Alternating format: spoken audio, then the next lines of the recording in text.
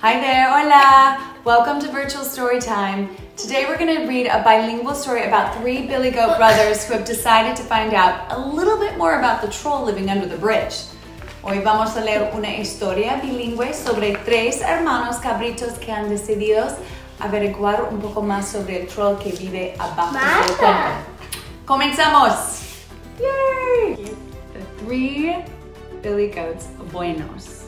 There once were three goats, a brotherly trio. They needed to crisscross a fast-moving Rio.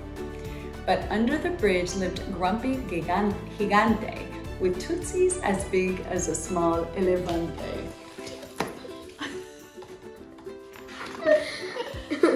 Troll's ojos were glowing, her nose was a hook. She stopped kids from crossing with one scary look. With three heads together, a mission was planned to get past the grumpiest troll in the land.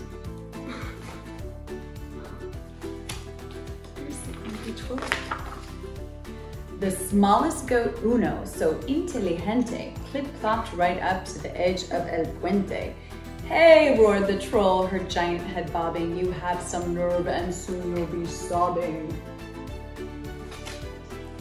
Is she scary? Hmm. Please, said the hoof-shaking tiny cabrito. May I go by in a short momentito? How many creatures can pass me? Ningunos, you kids will be part of mis desayunos. That means breakfast. Wait, said the little goat. I'm not sabroso. Try my big brother. He's so delicioso. In fact, my small bones will stick in your dientes. Wait till the bigger goat reaches your puente. Is the little brother um, potentially harming the big brother? He's headed this way to that meadow of grass. The troll licked her labios. Fine, you may pass. The little goat crossed to the bank's other lado, then followed his nose to the lush, lovely prado. But but then there's gonna be but then there's gonna be the biggest brother. Oh, oh, okay, keep watching. Love it. Along came the second goat, numero dos. Halt, yelled the troll in her scritchy, scratchy voice. My meal is before me, here for the taking. See these big chompers? Why aren't you shaking? Because he was not scared. Wait, said the middle goat. I'm not sabroso. Try my big brother. He's so delicioso. The troll rubbed her chin, both whiskered and warty. I heard a rumor that you taste good, But shorty. mommy, mommy, but there's gonna be a but but the big guy's gonna Don't tell us, don't tell us. no no. Oh, oh. The goat shook his spotted cabeza. Not. These spots will taste bitter. I'm the worst of the three. The troll licked her labios. Fine, you may pass. The goat hurried off to the clover and grass. He joined his hermano, the two butted heads. They frolicked and romped like true quadrupeds. Then next came the biggest ghost. Goat, not ghost. Numero tres. If the troll lets me by, what will she eat después? Uh-oh. Do-do-do-do-do-do. And why is she so grumpy? Tres wanted to know.